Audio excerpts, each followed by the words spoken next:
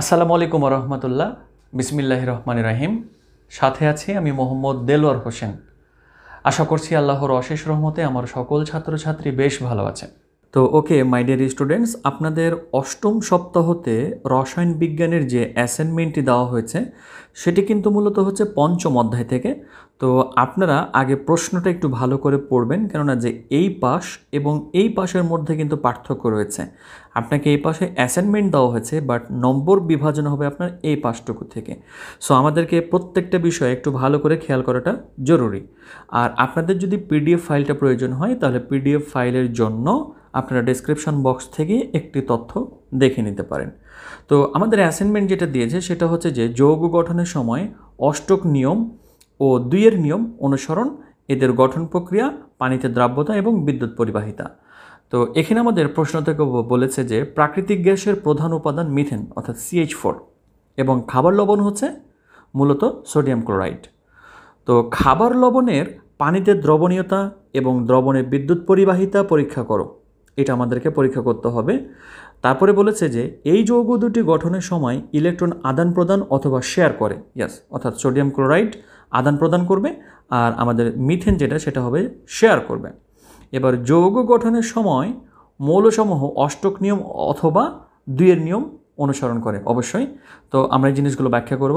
বলেছে তারপরে যৌগ দুটি গঠনের সময় অষ্টক নিয়ম ও দুইয়ের নিয়ম অনুসরণ, এদের গঠন প্রক্রিয়া, পানিতে দ্রব্যতা এবং বিদ্যুৎ পরিবাহিতা সংক্রান্ত প্রতিবেদন প্রণয়ন। তো এই যে প্রতিবেদনটা স্পেশালি হচ্ছে যে কি আপনার বাংলা দ্বিতীয় পত্রের মতো নয়, বরং বাংলা দ্বিতীয় পথের মতো করে নয় আমি আবারও বলছি, এটা সুন্দর করে উপস্থাপন করাটাই হলো একটা প্রতিবেদন।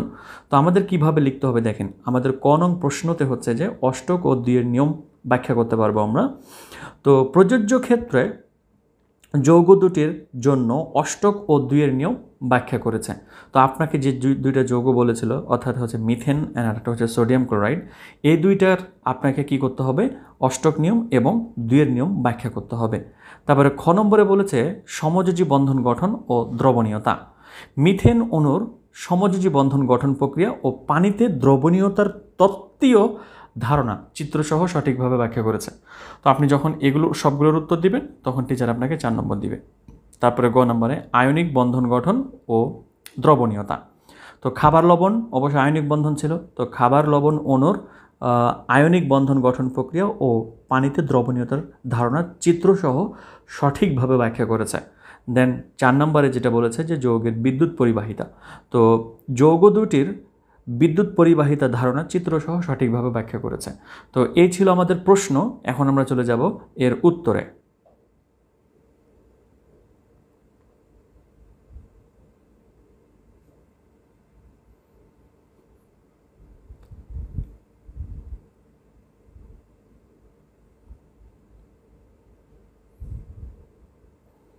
তো উত্তর করার ক্ষেত্রে আমরা অবশ্যই রসায়ন অষ্টম সপ্তাহ, তারপরে যে শিরোনামটা ছিল সেই শিরোনামটা আমরা লিখে দিলাম।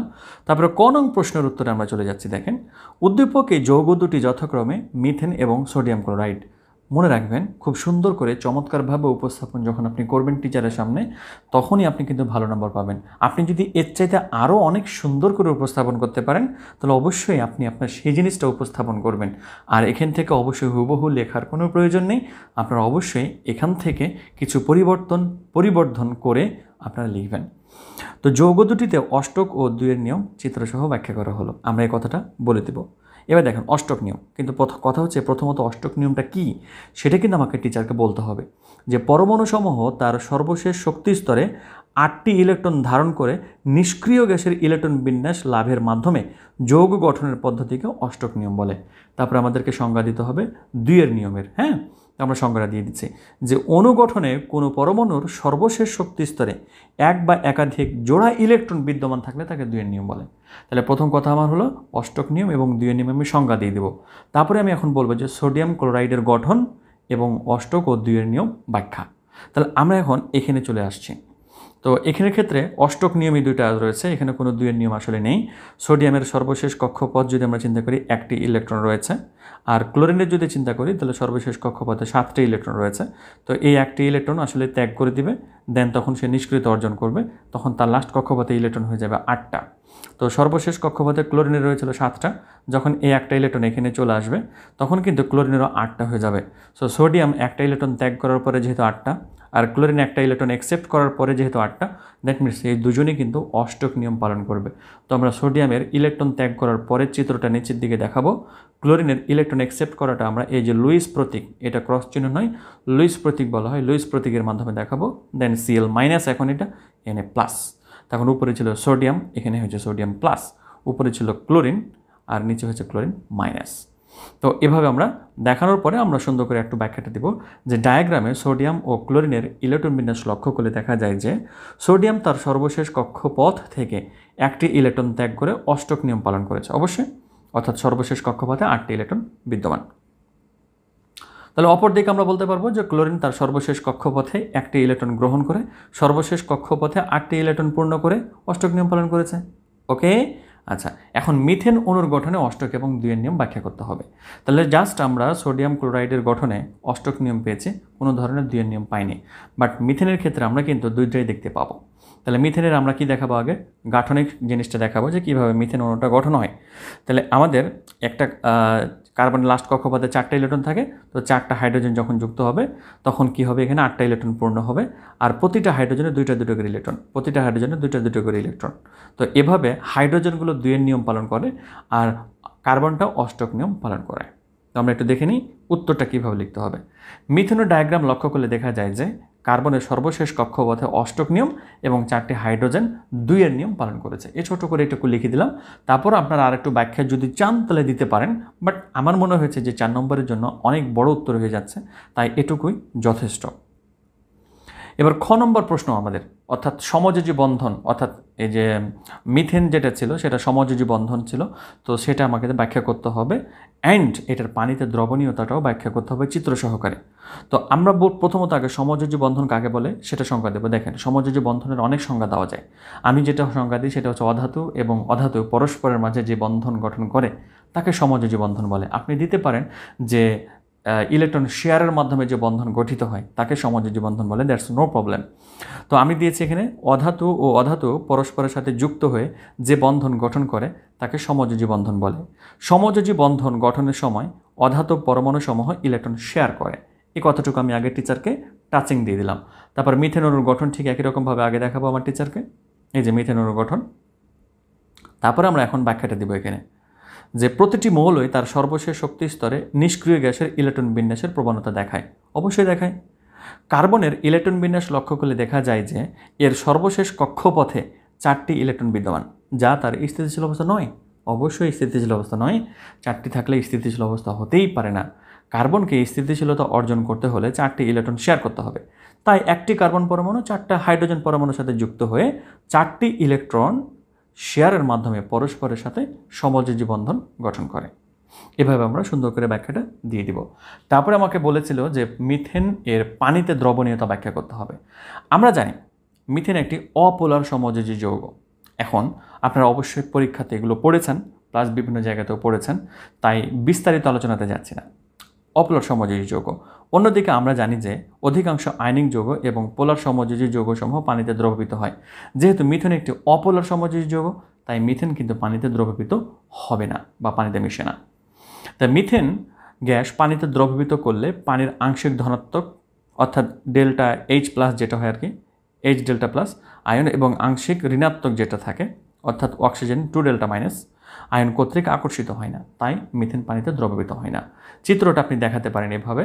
অর্থাৎ এই যে আমাদের যে মিথেন চিত্রটাকে দেখাবো, তারপরে আমাদের যে পানি, তো পানির যে অক্সিজেন কর্তৃক আসলে কি হবে না, আপনার কোনো কিছুই কার্বন এবং হাইড্রোজেনের আকর্ষিত হবে না। তো আমাদের জাস্ট চারটা কি দেখিয়েছে? পানির গঠন দেখিয়েছে। অর্থাৎ এই যে এই সম্পূর্ণটা হচ্ছে মিথেনের গঠন। তারপরে চারদিকে জাস্ট চারটা কি দিয়েছি আমরা? পানির অণু দিয়েছি। আপনি চাইলে এটা দিতে পারেন এভাবে, দ্যাটস নো প্রবলেম। তারপরে আমাদের কী আছে? গ নম্বর রয়েছে। আমরা গ নম্বরে চলে যাব।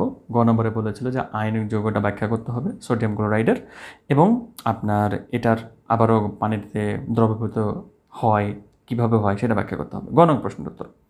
আয়নিক যৌগ। ধাতু ও অধাতুর মধ্যে যে বন্ধন গঠিত হয়, তাকে আয়নিক বন্ধন বলে। আয়নিক বন্ধনে ইলেকট্রনের আদান প্রদান হয়। আমরা এই কথাটা সুন্দর করে লিখে দেবো। দেখেন, আয়নিক যৌগের অনেক সংজ্ঞা দেওয়া যাবে। অর্থাৎ ইলেকট্রন আদান প্রদানের মাধ্যমে যে বন্ধন গঠিত হয় তাকে আয়নিক যৌগ বলে, তারপরে যে ধাতু এবং অধাতুর মধ্যে যে বন্ধন গঠিত হয় তাকে আয়নিক যৌগ বলে, ক্যাটায়ন এবং অ্যানায়নের মাঝে যে বন্ধন গঠিত হয় তাকে আয়নিক যৌগ বলে অনেক দেওয়া যায়। তো দেখেন, সোডিয়াম ক্লোরাইড দ্বারা আয়নিক আয়নিক বন্ধনের গঠন ডায়াগ্রামের মাধ্যমে উপস্থাপন করা হলো। তো আমরা প্রথমত কী করব? সোডিয়াম আর ক্লোরিনের চিত্র অঙ্কন করব ডায়াগ্রামের মাধ্যমে। দেন এটা হচ্ছে সোডিয়াম, এটা হচ্ছে ক্লোরিন। সোডিয়ামের এই লাস্ট কক্ষপথ থেকে একটি ইলেকট্রন যে আসলে চলে যাচ্ছে সেটা আমাদেরকে কিন্তু এইভাবে দেখাতে হবে। দেখানোর পরে একটা তীর চিহ্ন টানবো। তীর চিহ্ন টানার পরে আমরা আবারও সোডিয়াম ইলেকট্রন ছাড়ার পরে যে আমাদের অবস্থাটা হবে সেটা লিখব। ক্লোরিন ইলেকট্রন অ্যাকসেপ্ট করার পরে যে অবস্থাটা হবে সেটা লিখব। অ্যান্ড থার্ড ব্র্যাকেট দিয়ে আপনি এই দুটো পারলে ঘিরে দিবেন, আর একটু ভালো হয়। অ্যান্ড আমরা বলছি এখন যে সোডিয়ামের ইলেকট্রন বিন্যাস লক্ষ্য করলে দেখা যায় যে এর সর্বশেষ কক্ষপথে একটি ইলেকট্রন রয়েছে। তাহলে একটি ইলেকট্রন থাকলে কি সেটা স্থিতিশীল? ন তাহলে যেটি সোডিয়ামের স্থিতিশীল অবস্থা নয়। অপরদিকে ক্লোরিনের ইলেকট্রন বিন্যাস লক্ষ্য করলে দেখা যায় যে এর সর্বশেষ কক্ষপথে সাতটি ইলেকট্রন রয়েছে, যেটি ক্লোরিনেরও স্থিতিশীল অবস্থা নয়। তাই সোডিয়াম একটি ইলেকট্রন ত্যাগ করে এবং ক্লোরিনে একটি ইলেকট্রন গ্রহণ করে পরস্পরের মাঝে আয়নিক বন্ধন সম্পন্ন করে স্থিতিশীলতা অর্জন করে। এটা আমরা ব্যাখ্যাটা সুন্দর করে দিয়ে দিলাম। তারপরে এখন আমরা বলব যে সোডিয়াম ক্লোরাইডের পানিতে দ্রবণীয়তা।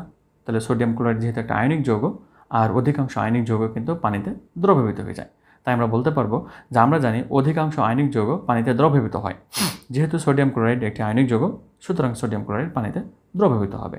সিম্পলভাবে উত্তর দিয়ে দেবো। তারপরে, আমাদেরকে যেহেতু বলেছিল যে এটা আবার ওই পানিতে কীভাবে দ্রবীভূত হয় সেটা ব্যাখ্যা দিতে হবে, তো আমরা এখানে সুন্দর করে একটু আলোচনা দেব যে আয়নিক যৌগে ধনাত্মক ও ঋণাত্মক প্রান্ত থাকে। আমরা জানি অবশ্যই ধনাত্মক এবং ঋণাত্মক প্রান্ত থাকে। আয়নিক যৌগের ধনাত্মক প্রান্ত পানির ধনাত্মক ঋণাত্মক অক্সিজেনের সাথে আকর্ষিত হবে হ্যাঁ? মানে মোট কথা, আয়নিক যৌগের যেটা ধনাত্মক প্রান্ত, পানির ঋণাত্মক অক্সিজেন প্রান্ত দ্বারা কী হবে? আকর্ষিত হবে।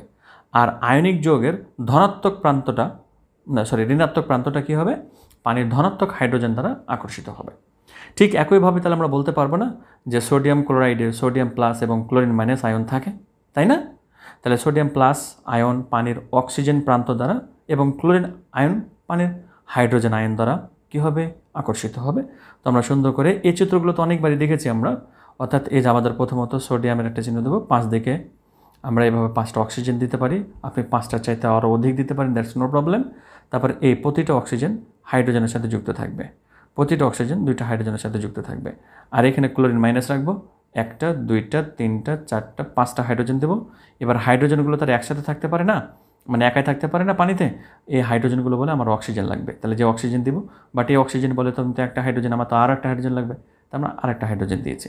তো হাইড্রোজেনকে আপনার ডেল্টা প্লাস, অক্সিজেনকে টু ডেল্টা মাইনাস দিয়ে দিবেন, আমি এখানে দিই নাই। সুন্দর করে প্রত্যেকটাতে দিয়ে দিবেন এখানে আপনারা। তো পানিতে সোডিয়াম ক্লোরাইডের এনএ প্লাস এবং সিএল আইনের গঠন যেটা ছিল সেটা দেখালাম। এবার আমাদের লাস্ট প্রশ্ন যেটা, ঘ নাম্বার উদ্দীপকের যৌগ দুটি হলো সোডিয়াম ক্লোরাইড এবং মিথেন, যেখানে সোডিয়াম ক্লোরাইড হলো আয়নিক যৌগ এবং মিথেন হলো সমযোজী যৌগ। অর্থাৎ এই দুটা যৌগর মধ্যে আসলে কোনটা তড়িৎ প্রবহন পরিবহন করবে আর কোনটা তড়িৎ পরিবহন করবে না সেটা ব্যাখ্যা করতে হবে।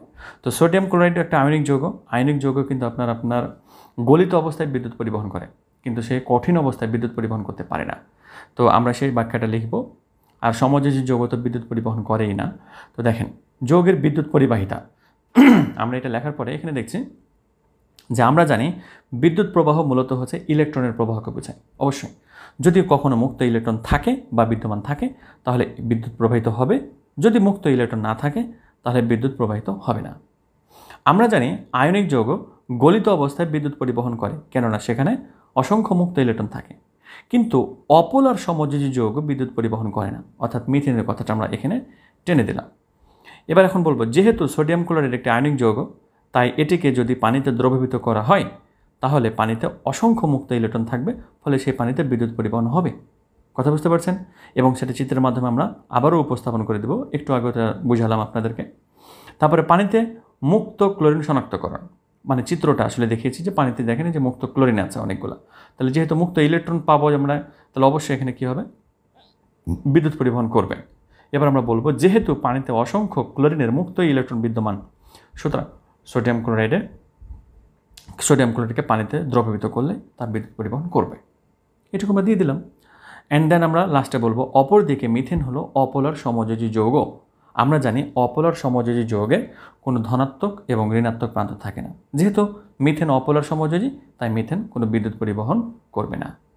আশা করছি আমার স্টুডেন্টরা খুব ভালো মতনই সবগুলো ক্লিয়ার করতে পারছে। তো তারপরও যদি কোনো সমস্যা থাকে, অবশ্যই আপনারা একটু কমেন্ট করে জানাবেন। আমি আপনাদের সবার উত্তর দেবো, ইনশাআল্লাহ। সবাইকে অসংখ্য ধন্যবাদ। আল্লাহ হাফেজ। আসসালামু আলাইকুম রহমতুল্লাহ।